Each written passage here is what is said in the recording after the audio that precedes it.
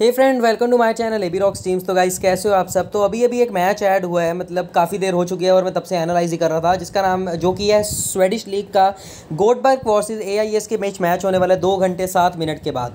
तो इस मैच की फाइनल टीम गाइज़ आपको लाइनअप्स के बाद मिलेगी मेरे इस चैनल पर, जिसका नाम है A B Rocks Dream Eleven teams तो इसका लिंक मैं आपको नीचे डिस्क्रिप्शन बॉक्स में डाल दूँगा कि बाद में आपको ढूँढने में प्रॉब्लम ना आए। और ये है गाइज़ प्रीवियस मैचेस के स्क्रीन जिसमें कि अल्ट्रा विनिंग हुई है। आज का क्या हुआ ना एक्चुअली नाइट जो विनिंग हुई, उसके मैंने मतलब सुबह सारा वो पोस्ट किया रिज़ल्ट और आज जो दो यूरोपियन टीटन भी बहुत अच्छे गए, लेकिन जो तीसरा यूरोपियन टीटन मैंने ओपन दिया था, वो हो गया एबंडेंट तो गाइज़ देखते हैं नेक्स्ट मैच कौन सा ओपन देना है। मैं आपको दो टीम्स और ओपन दूँगा टेंशन मत लेना। तो ये सोच रहा हूँ ओपन देने की, क्योंकि गॉडबर्ग वर्सेस एआईएस का रिकॉर्ड जो है ना, काफ़ी ज़्यादा बढ़िया है। और ये नहीं, मुश्किल मैच नहीं है क्रेडिट इशू नहीं है इसके अंदर। आप जो चाहें अच्छा मन से प्लेयर ले सकते हैं, जिस पर आपको भरोसा हो, जिसके, जो आप एनालाइज कर रहे हो आपकी आँखों के सामने आपको दिखे। तो मैं बात करूँगा सबसे पहले गाइज़ यहाँ पे पहले गोल कीपर की, जिसका नाम है बुडीमियर जेनोसेविक तो ये प्लेयर जो आप देख रहे हैं, ये एआईएस का एक नॉर्मल सा गोल कीपर है गाइज़ जो कि ये एक नॉर्मल प्लेयर है। मतलब ऐसा नहीं कि भाई ये कर देगा, वो कर देगा। एक्चुअली इनके पास सिर्फ़ दो ही टॉप के गोलकीपर हैं, एक ये और एक है जे हॉगट तो हॉगट को शायद आज ना खिलवाकर इस प्लेयर की वापसी करवाएँ।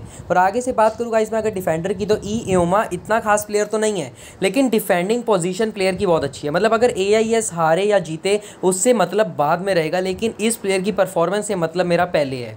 और आगे से बात करूँगा इस नेक्स्ट प्लेयर की मैटियस को लेने वाला हूँ, लेने वाला हूँ यहाँ से। माटियस जो प्लेयर है गाइज़ ये अपनी टीम का मतलब एकमात्र सबसे बढ़िया डिफेंडर है, क्योंकि जिस टीम की डिफेंडिंग तगड़ी होगी उस जी, उस टीम के जीतने के चांसेस उतने ही ज़्यादा होंगे। और आगे से बात करूँगा, इस नेक्स्ट प्लेयर की अलेक्जेंडर जैलो को लेने वाला हूँ। अलेक्जेंडर जैलो और जो ऊपर प्लेयर है, इसका नाम है एम एम बजरस्मिर तो ये दोनों प्लेयर काफ़ी ज़्यादा इंटरेस्टिंग है और सिलेक्शन आप इनकी देखोगे तो आपको ज़रूर हाई लगेगा। लेकिन कोई बात नहीं, क्योंकि अगर आपको सिलेक्शन नहीं देखनी, यहाँ पर आपको परफॉर्मेंस पर ध्यान देना गाइस आगे से बात करूँ, अगर मैं नेक्स्ट प्लेयर की तो यहाँ से लूँगा एस एरिक्सन को। सेबेस्टियन रिक्सन को मैं एज अ की प्लेयर ले रहा हूँ, क्योंकि यहाँ पर अभी मेरे को कुछ नहीं पता कि क्या पता ये इस प्लेयर को खिलवाएँ या ना ही। क्योंकि क्या रहता है कि यहाँ पे कुछ चेंजेस करेंगे ये। क्योंकि गाइस मैंने आपको पहले ही बोला है कि प्रॉपर टीम जो पोस्ट होगी वो लाइनअप्स के बाद टेलीग्राम चैनल में आएगी। ये टीम ओनली एक पुराने रिकॉर्ड से बनाई गई है।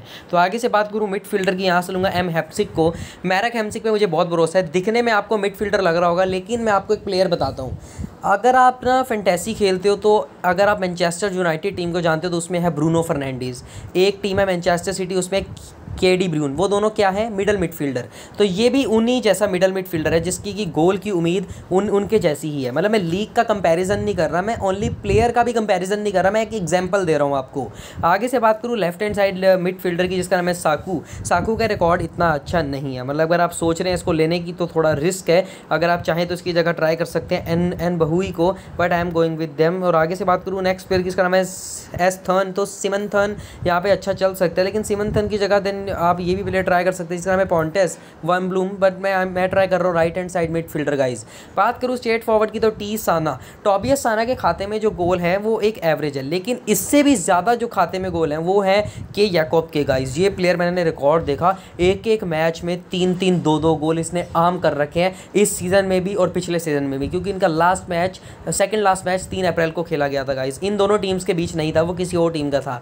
एच गॉटियम की बात करूँ तो हैनक गॉटियम एक ना एक स्टेट फॉरवर्ड होना चाहिए। तो गॉडियम की जगह you can try this player का नाम है बॉजन बॉजन भी गोल करता है, अच्छे खासे गोल करता है, ऐसी बात नहीं है but I am going with गोटियम तो आगे से बात करूँ कैप्टन एंड वाइस कैप्टन की कैप्टन रहेगा हैमसिक एंड वाइस कैप्टन के यकअप तो ये मेरी टीम गाइज़ मिलता हूँ अगली वीडियो में बबा